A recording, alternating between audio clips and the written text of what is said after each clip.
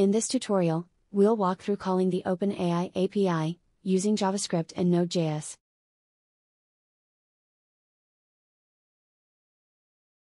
To complete this tutorial, you'll need access to the OpenAI API, and an account on replit.com.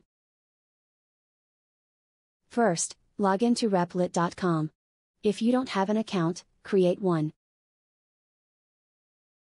Next, open a new browser tab and go to github.com slash dabblelab. Search for repositories containing the word OpenAI, and select the one named, calling, dash the, dash OpenAI, dash API, dash node.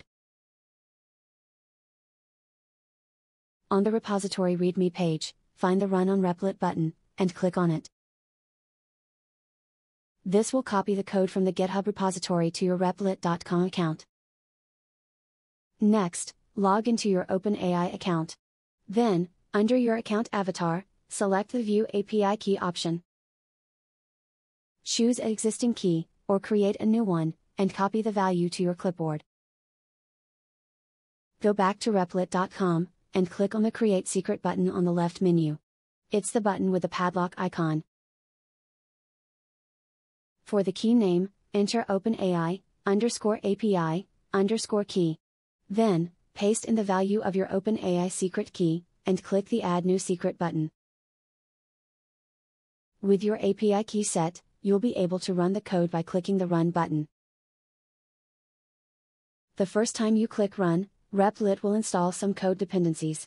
So you'll have to wait for that process to finish. But after the dependencies install, you should see a JSON response from the API. The code in index.js is making the API call.